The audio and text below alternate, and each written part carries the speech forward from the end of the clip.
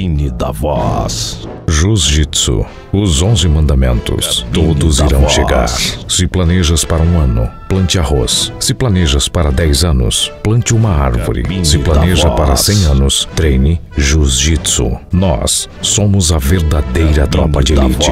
Tem que aguentar muito murro e chute na cara. A hora voz. é agora. Que o mais simples seja visto como o mais importante. Isso aqui não é Disneylândia, é selva total. Ganhar ou perder faz parte do jogo, mas perder por falta de treino é sem vergonhice. A disciplina e a hierarquia irão me tornar mais forte. E o treino é para cinco rounds. Quando não dá, não dá.